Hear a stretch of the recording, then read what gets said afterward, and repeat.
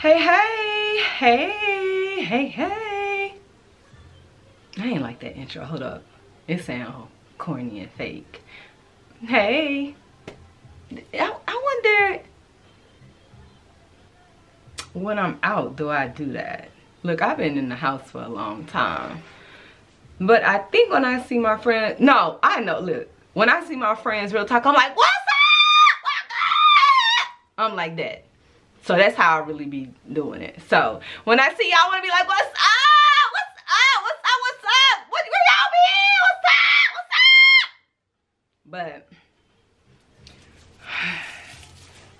people be hating and they like, she loud. Oh, she loud. So, so, so. I am loud, but it is what it is. So for all my folks that don't want to be around nobody loud, hey, how, hello, how are you doing today? Good, I'm glad you're doing well. I'm doing well as well. And all my other people, what's up? What's up? What's really, really good? What's up, y'all? Welcome back to my channel. Y'all know I don't have like a old proper introduction. I'm just out here freestyling it. You know what I'm saying? Doing what I like. It's 2021. If this pandemic ain't taught you nothing else, it should have taught you to do exactly what it is that you like, be yourself, and that's it. So that's what I'm out here doing. My name is Angie Baltimore. This is my YouTube channel and I welcome you. I'm excited that you stopped by. I am sitting in the middle of my under construction closet um, and this is my safe spot. This is my safe space I play around in clothes. It helps me with my mental health, especially during um, lockdown with this pandemic because we can't go and and move around as freely as we used to. So I use this as a part of my therapy. And some of y'all like it. So I'm excited. So I need you guys to do me a favor. If you like my content, if you like my videos, if you like anything about what you experience on my channel, please subscribe. Please turn on your notifications. Please like. Please share. Please tell somebody. Um, making videos and creating content is not easy so like it's a lot of work that goes into it of course like you don't have to do it it's something that i like to do and I'm not saying that it's a lot of work to get any sympathy or anything. I'm just saying it's a lot of work and um, and you work really hard to put out really good stuff, you know, for people like you to enjoy. And if you guys come back, it means that you obviously enjoy some of the video or something. Or maybe y'all just like to hear me talk or maybe, I don't, I don't know. But however, so thank you for coming to my channel. Today, today, today, today, um, today I'm gonna talk about some of the really nice items and some of the not so nice items that I picked up um, during the pandemic. This is a Gucci video. All items are from Gucci. Either the Gucci store, either um, a Gucci outlet or I purchased off Poshmark, which I will talk about all the above when I pick up each item. So, also, don't forget to head over to my, um, my Instagram. I keep looking down at my phone, y'all. So I'm gonna have to edit this video, like, and that's gonna take a whole another day and a half. But however, cause I keep looking at my phone, I'm looking over here, these light, these lights, it's just a lot going on. But anyhow, um, really love this outfit that I have on. And I hope if you guys are not following me already, I hope that you guys are going to follow me at Watch Me Be More on Instagram. That way you can see my entire outfits. I really love this outfit. It's so, so cute. It's a Forever 21 top. I have some really cute um, kind of like paperboy sequin pants that I picked up from H&M. They are still available. I also have a really, really nice um, pearl necklace that um, was gifted to me um, a couple, a few years ago. Yeah, it's funny how time's passing by. But um, beautiful pearls. They were purchased at Sissy's Log Cabin in Little Rock, Arkansas. They're really beautiful. They're timeless. I'll never get rid of them. I love them and um, and yeah that's it. I have a cross on my shirt. I love this shirt. Like i always love this shirt but anyhow let's get into this gucci situation. All right so i like many of you during the pandemic when the pandemic first started like when we first heard about covid-19 and you know there was a lockdown um you know, and all of that crazy stuff. So I'm in the house um, ordering books, um, going crazy on Amazon, ordering all kind of stuff. And I stumble across Poshmark. I had, of course, I had heard about Poshmark and, um, you know, I heard about people buying stuff and selling stuff and all that kind of thing. Um, but I just never really was a real huge fan of Poshmark. To be honest, I really have never really been a fan of buying um, like designer, secondhand designer items. Only because um, like I always get scared that I'm gonna get caught up in a situation. Like I'm gonna get a knockoff and I paid like real money. Don't get me wrong. Like I, like I'm very transparent and I am like that girl, let me tell you. So when I was in college, when I was spending my days in Greensboro, North Carolina, having the absolute best time of my life. Like had a ball, an absolute ball. Shout out to Bennett College changed my life. Anyhow, when I was in North Carolina, um, that was the first time that I was close to like a uh, a major city like Philly, um, um, DC, uh, in New York. So those were my three places. Like I absolutely loved them. I'm from Arkansas, born and raised. And at that time I had never been to the East Coast. The furthest I had been was North Carolina. So, of course, when you get to college, what do you do? You meet like incredible people. You meet dope friends and they take you all over the world. So, I had friends. I had, I never forget the first time I met uh, some my girlfriends from DC. Fell in love with them. Their Parasuco jeans, the Timberlands, the BB shirts, and the go-go music. So, Y'all know I'm not lying because all of that was a DC girls dress code. Oh, and those uh, Senegalese twists, whatever, them braids. That was y'all whole situation. That was y'all dress code. Like, that was it. So, anyhow, me being on the East Coast introduced me to a lot of things. One of the things it introduced me to was Canal Street in New York. Canal Street in New York when I was in college, which was over 20 years ago, was booming. Not like Canal Street now.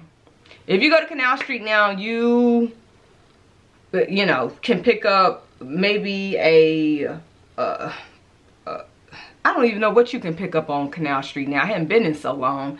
But the last time I went, I think, like, you can get like a a knit hat and glove set like if you're really cold or something like that when i went to canal street for the very first time um, i went with a friend whose mom was doing like a bus trip so you pay like $20 and you get on the bus, go and you shop on Canal Street and you shop in Jamaica, Queens, New York. And then you drive back. Um, we were leaving out of Pennsylvania at that time. So you drive back to, to Philly. One of the best experiences I ever had. So anyhow, fast forward to the good part at that particular time, you could buy a Louis Vuitton bag on Canal Street that was so close, you had to buy it. I bought it. I bought a couple of them.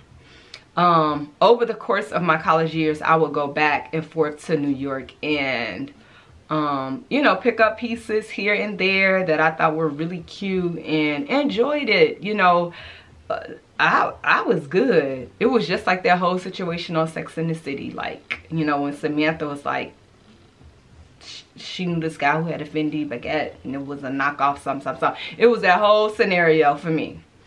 Until I think I had probably, oh God, maybe two or three, two or three bags for sure. And then one time, got a bag and that strap broke. And that was the end of buying knockoffs for me. That was it. So the quality started to change. Um, the internet started to come out. Camera phones were coming out. So people were taking pictures. Um, and some of these luxury brands, they really weren't they went down for for this counterfeit knockoff situation so the quality of a knockoff started going like down, down, down, down, down. And so I started to, you know, take a taxi up to Fifth Avenue and compare the prices. And believe it or not, at that time it was a little um, a Louis Vuitton bag that was really popular. It was called the Pochette. And I, I don't have it. It's packed away. Um, but that was, that wasn't the first bag that I bought. Um, was that the first no that wasn't the first bag i bought. The first bag that i actually bought or actually went and got from the louis vuitton store as an adult was this um, bag. And i believe it is called the musette salsa i believe. The musette salsa. And this bag was um bought in 2000 maybe nine, 1999 i think. I think it was like 99 um still in excellent condition and i know this bag was not 600 dollars but i had probably spent a thousand dollars buying knockoffs on canal street and i don't have any of those knockoffs anymore. Um broke or either gave them away because i didn't want them to break like mid uh, breakdown dancing on the dance floor and your purse breaking all your contents fall out. No, it's not gonna happen with this. Anyhow, so look, I done jumped all into Louis Vuitton. This ain't even a Louis Vuitton video, but I was talking about buying stuff, designer items on secondhand sites. I just wasn't into it because of the previous experiences. But now you have all types of sites like Fashionphile, um, Poshmark, um, uh, what goes around comes around. It's uh, what goes around comes around has a boutique in New York where you can go in and see all of the items where they have people that are um, vested in selling and reselling um, designer items that are authentic in mint condition or very very good condition. So there's not like you're gonna buy some crap. Well, that's what they say. So let's jump right into it. All right, so I am really into like um, anything old school, vintage, like Gucci logo, any type of G's, um, monogram, anything like that. Like I'm into it. So, and I love denim. Denim is my absolute favorite fabric. I like a denim jacket. I like a denim dress. I like a denim bag. I like a pair of denim shoes. I like anything denim. I'm down for it. So I was on Poshmark and I have this Gucci hat and I wear it a lot. And just the um, regular brown monogram. I bought it maybe two years ago. Um, and I wear it like whenever I'm having a bad hair day. I just throw it on my head and put a face on and it's you still looking cute. This particular hat was on Poshmark and um, it was in really good condition. I don't know if you guys can see. It had the serial number. It came with the actual receipt where it was purchased. Um, no makeup, no, no, it was just a really good, good find. So I end up buying this and I, um, I really don't have any regrets. I think that this was, I think maybe like $200. Now the thing with Poshmark, Poshmark you can bid or um, like offer a price for items and the person who's selling the actual item can either counter the offer or they can just decline it altogether. So um, it's cool. Poshmark does take a, a pretty nice percentage but um, they also will authenticate any items over $500 so it's you know it is what it is. It's one of those things where um, you know you're taking a chance. But so i really love this this hat. This hat came out like in 09 and i liked it. So i got it. And that's that. My second item is from it's also from poshmark. This is um like a tootsie roll or candy vintage gucci bag.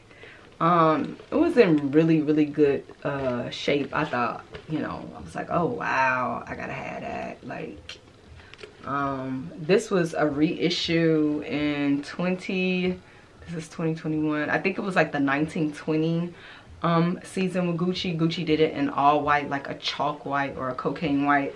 And i actually got it it seems like my my lipstick is running. I hope not. But anyway.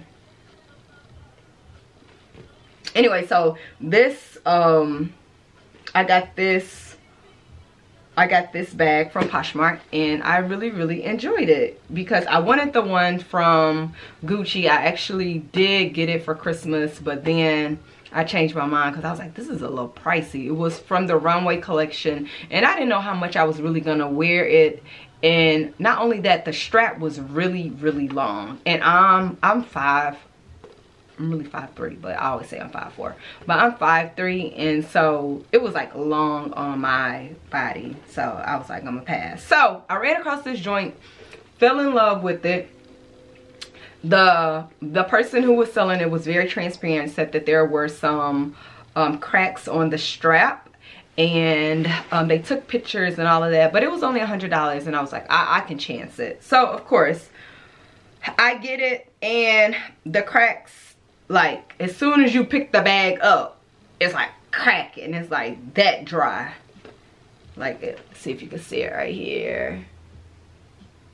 Yeah. So that's one little part. But anyhow so what I did I took it to a really good cobbler and had them cut the strap um just so it wouldn't be a total loss for me because all like this was really long but it had multiple like cracks in the strap like that. So basically it's kind of like an evening bag for me now. It's not a bag that you can carry um and think you're gonna have it like all day. Because the the the strap is just too too weak. It really is um i may even carry it like a clutch. I don't know what i'm gonna do but i'm not gonna get rid of it.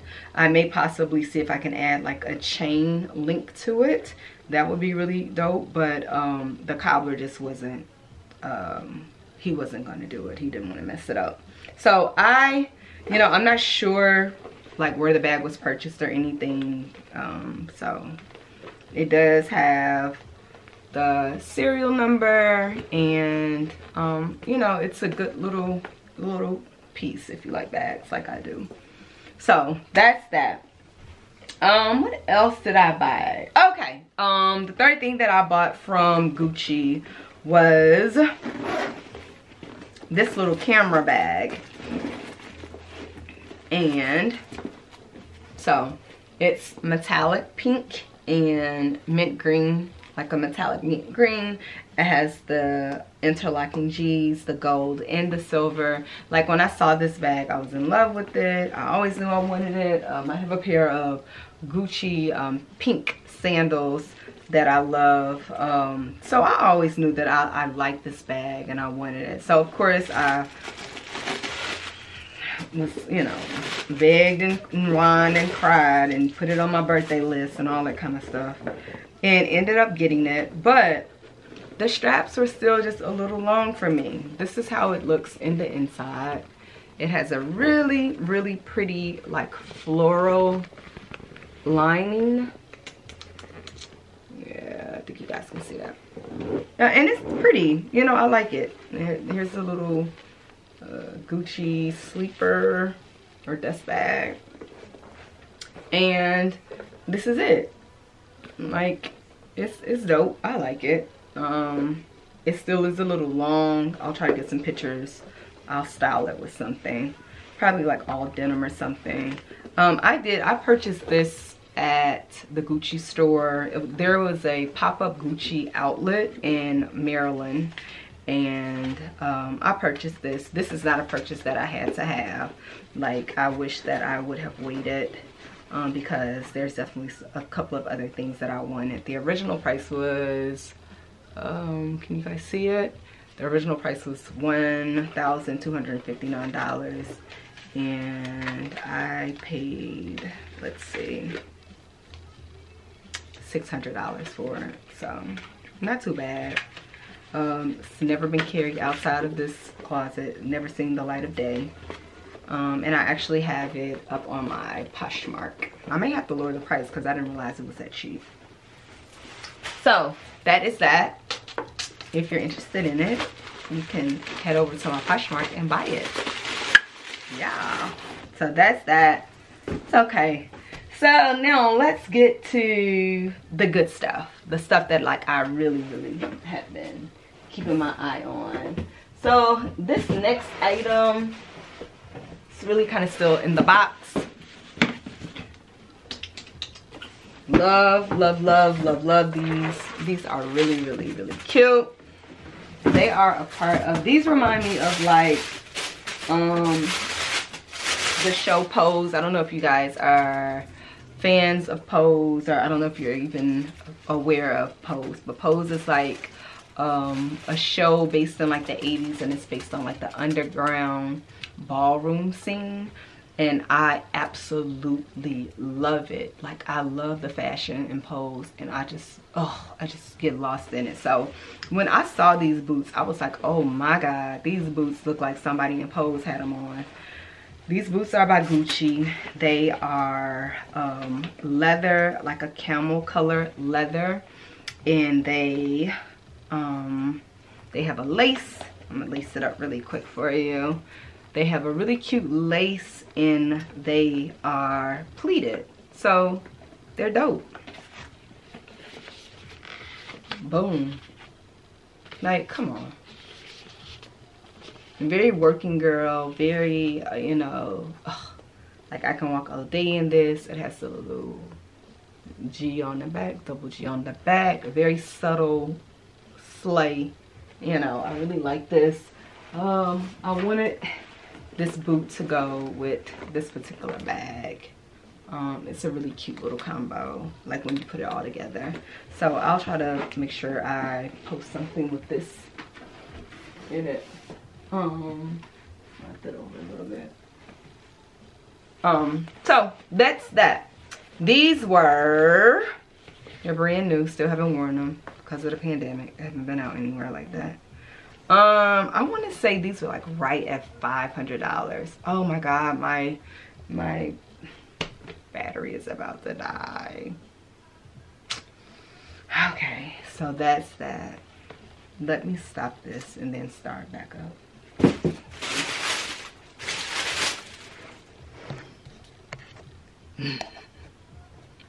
no, you know what? I'm gonna keep going until it just cuts off. Maybe it, it won't cut off until because I only have three more items. Okay, so then I went. I got those at. They actually went on sale. Um, at the at the not Dillard's at the um Gucci store, which was cool because my I'm really loyal to um my sales people. Like if you know, if I buy something from you, I like to